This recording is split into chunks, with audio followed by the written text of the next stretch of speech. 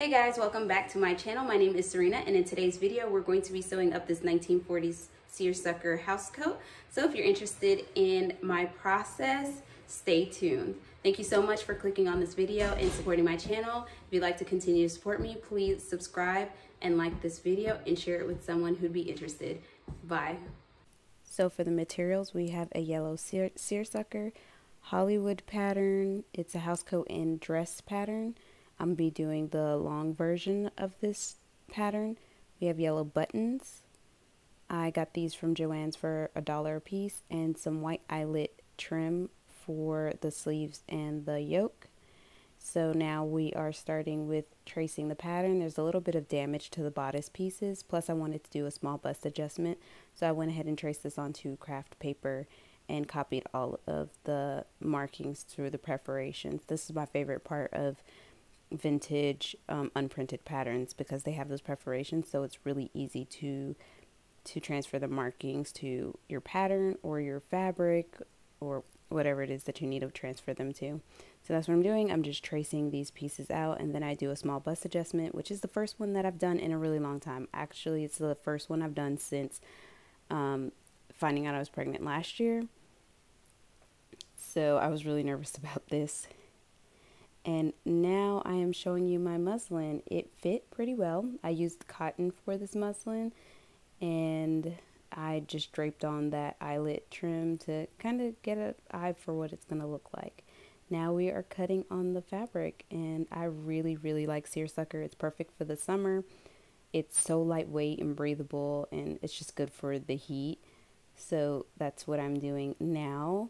I've been looking for a a house coat pattern for a really long time and my friend actually convinced me to buy this. I saw this when I was pregnant and she really convinced me to buy this pattern because it was like $20 and I usually don't spend that much money on fabric, I mean on patterns, but I'm so glad she talked me into it because I absolutely adore it. So this pattern requires a lot of top stitching so I have to iron in the seam allowance first so that way I can top stitch everything on afterwards and you'll see that. So the yoke is top stitch as lo- along with the bodice is top stitched to the skirt. So that's what I'm doing here. I'll also be making quite a few different house coats. Um, if you follow me at all on Instagram, you know that I'm always home. Oh, I'm showing you pattern matching. I always like to match my pattern as much as possible. It's just really easy on the eyes. Um, so yeah, if you follow me on Instagram, you know I spend a lot of time at home. Most of my pictures are at home, not just because of COVID, just I'm a homebody and I prefer to be home.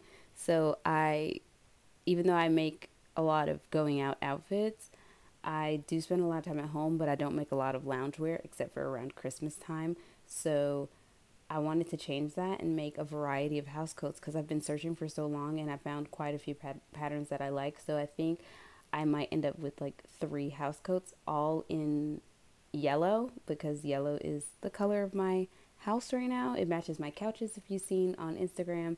I have floral quilted couches and I painted my kitchen cabinets yellow and I just have a yellow house. So I feel like yellow house coats is the way to go.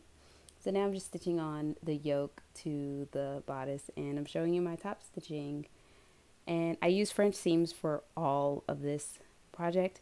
If you haven't already, you can check out my four favorite seam finishers video. I'll put a, a link in the cards and you'll see my the favorite ways to finish up my garments and usually I prefer French seams. They're so durable and they look really nice on the inside, but with this house coat, I mixed it.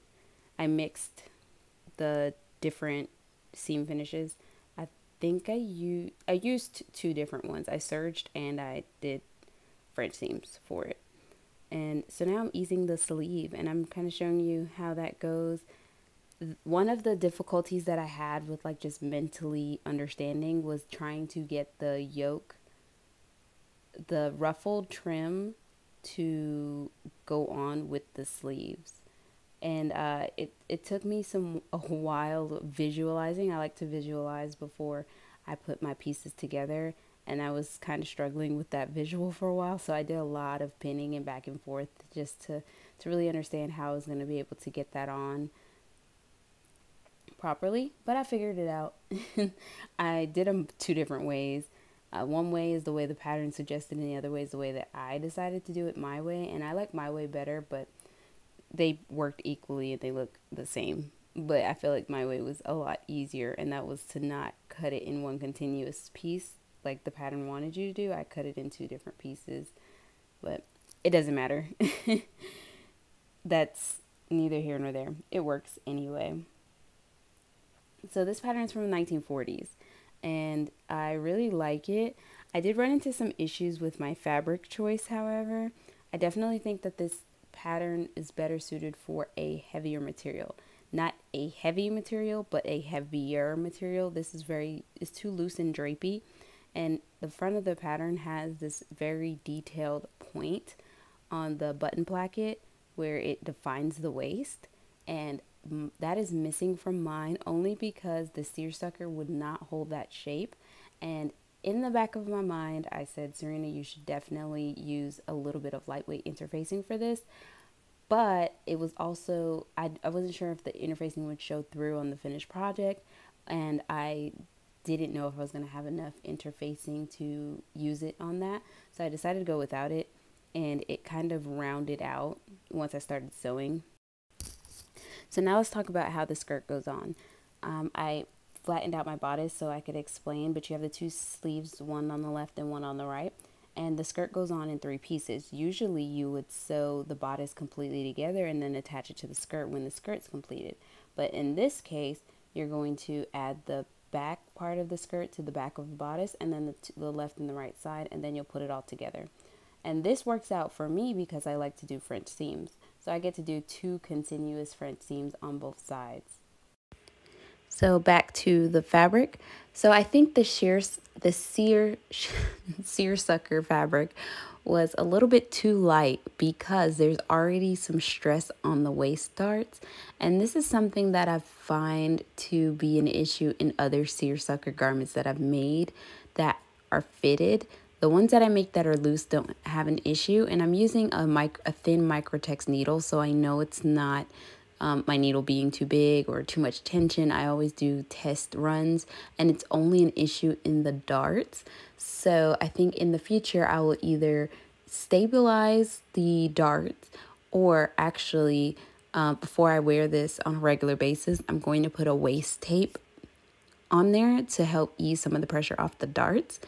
And I think it's really important that I share some of these things so that way you can learn from what I struggled with or my mistakes, but then also when I do want to make changes in things that I've made before, I usually write notes in my pattern app. So when I go back, I know to make these changes.